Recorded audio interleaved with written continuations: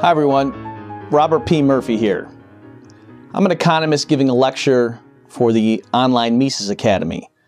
Today we're going to be talking about supply and demand, and we're going to be focusing on the chapter from my textbook, Lessons for the Young Economist.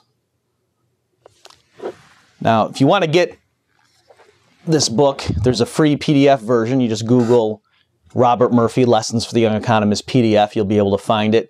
Or, of course, if you go to the Mises Institute bookstore, you can get the hard copy. Now, I should stress at the beginning that even though the Mises Institute is the leading bastion of Austrian economics, the material in today's lecture is actually going to be fairly mainstream.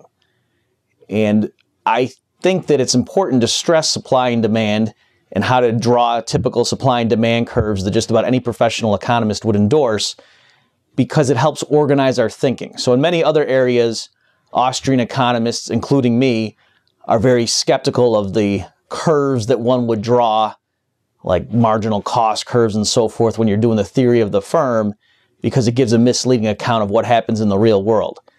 But actually, when it comes to just standard supply and demand graphs, I think that they're actually uh, very useful to help organize your thinking. So the first thing I want to stress is that we don't have, as economists, a theory of supply and demand. It's not really a theory. That's not the right way to think about it. There is nothing that could ever come up that would make economists say, oh my gosh, we, we've been using supply and demand all these years, but actually it turns out that's wrong. That these things are an invalid way of looking at the world. That's not really what would happen. And if you think that could happen, you're misunderstanding what supply and demand curves do. So what they are, and we're going to go through in the course of this lecture exactly how they work, but from a 30,000 foot view, what they are is just a way of organizing our thoughts coherently so we can put the various factors that might move prices and quantities around into different categories. And it just helps us to make sure we're thinking through things properly. And really what it does more than anything else is helps us to avoid arguing in a circle. And so, believe it or not, just within the last two weeks, I think I've used supply and demand three separate times that I can remember off the top of my head. That either giving one time I was actually giving a lecture, and somebody in the crowd asked me something, and it had to do with interest rates, and he was worried about. Well, wait a minute, you said that if people save more, interest rates tend to go down but then wouldn't that make people want to borrow more? So wouldn't that push the interest rate back up? And I had to just, you know, I was trying to argue with him in words and get him to see why that doesn't work. And then I finally had to go to the board and draw supply and demand curves to show him what I was trying to say and why his particular worry was unfounded. Uh, you might also see that same kind of uh, confusion or circular argument a lot of times when people are talking about oil prices, for some reason I've seen it a lot in that context where someone will say something like, oh, uh, OPEC cut its production quota this quarter. They just made the announcement they're going to be reducing output by such and such barrels per day. So that means the supply is going to go down.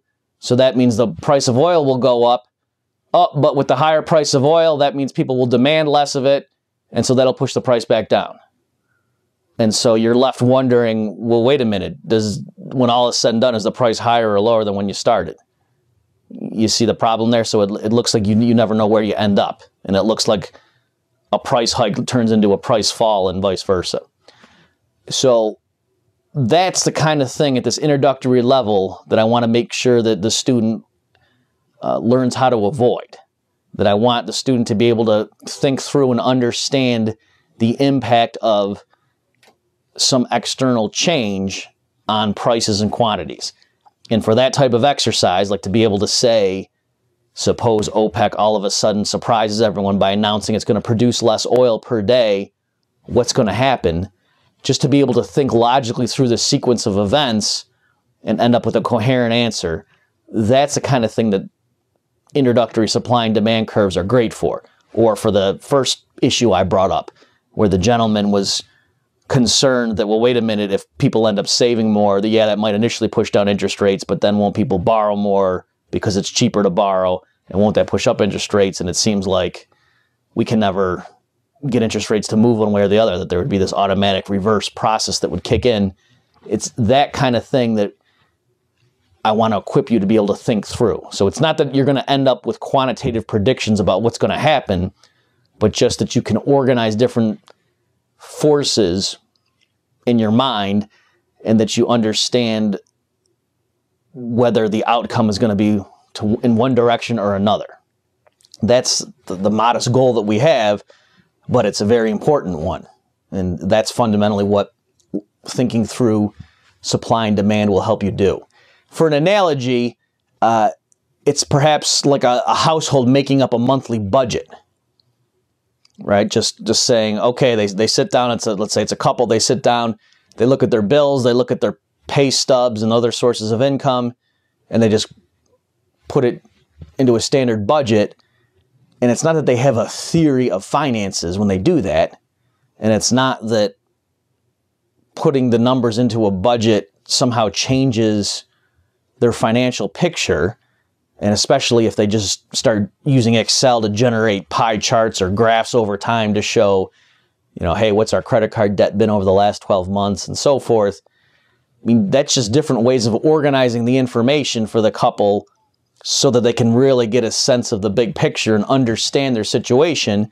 It certainly influences the decisions they'll make, but it's not that the that the construction of a budget commits them to one view or another. It's not that uh, the budget per se makes them want to cut spending or makes them have to go get a second job or says, oh, we can't afford that trip. I mean, it's the budget, constructing the budget helps you understand the reality. And so, by the same token, using supply and demand curves in and of itself does not commit you to becoming a free market economist. You could be a Marxist and use supply and demand curves, or you could be a Keynesian and use supply and demand curves. It's what you do with them that ultimately uh, determines what your policy prescriptions would be or how you interpret them.